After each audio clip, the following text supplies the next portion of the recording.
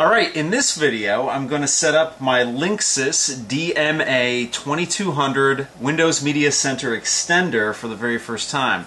Now this is the remote control, I thought I'd give you something to look at. I'm up in my attic right now and I'm going to put this on my 8 foot television set behind me here. And unfortunately, because it's so big, it's going to be hard to get a good camera angle on it, so it might be a little bit distorted in your view, but it won't be in real life here. So let's get to it. Alright, here we go. First thing up is quick setup. It says welcome to the Linksys Media Extender. This quick setup guide will help you set up your new Linksys product. To proceed with setup now, select next. So I'm just going to hit OK on my remote because next is already selected down here. And of course I'm speaking English, so I'm going to select that and hit next. And then it says HDMI detected. An HDMI connection has been detected. This high quality digital connection will be used as your display connection. To continue with setup, select next.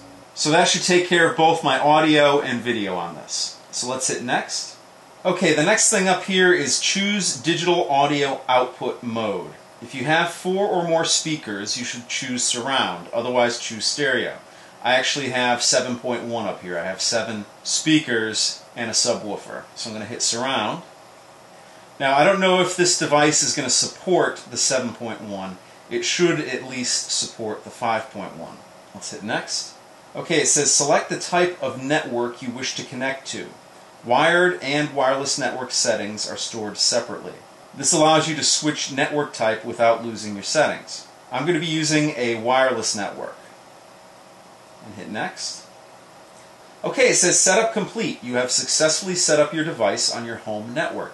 Select next to continue setting up the extender. Alright, welcome to Windows Media Center.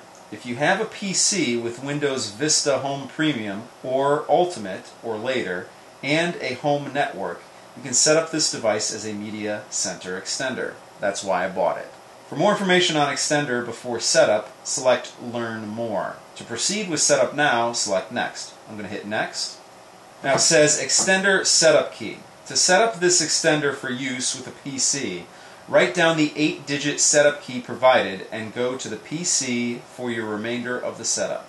So now I'm going to run downstairs and bring you guys with me and enter this number into my home theater PC.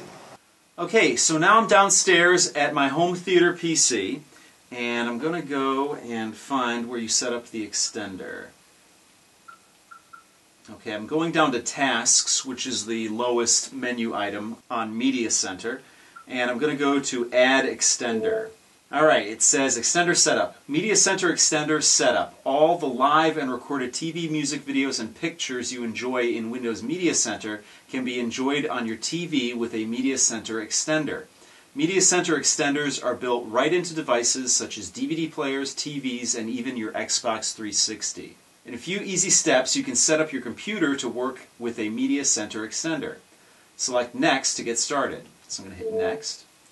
And now I'm going to enter in the key that the computer upstairs, or the extender upstairs, gave me.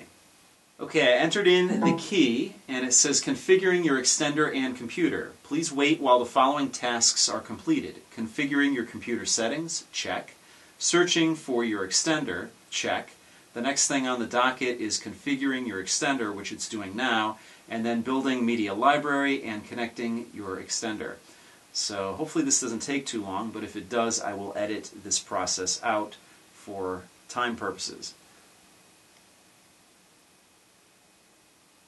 Okay, you're done. The extender should now be showing Windows Media Center, and it may be used to enjoy live and recorded TV, music, videos, and pictures.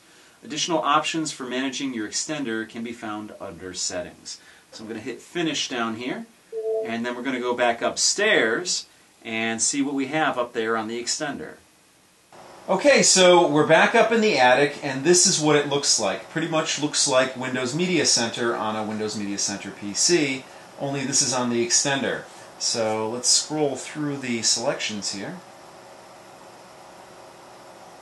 And it seems pretty smooth, not quite as smooth as you'd see it on the actual computer itself, but that's because this is all getting beamed from that Windows Media Center PC straight to this extender up here.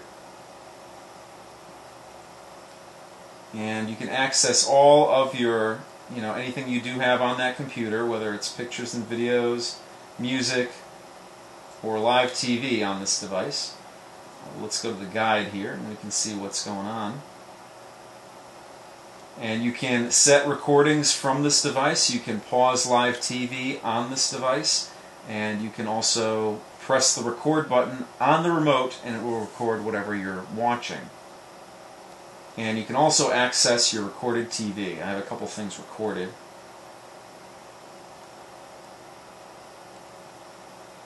And you can watch them straight from here.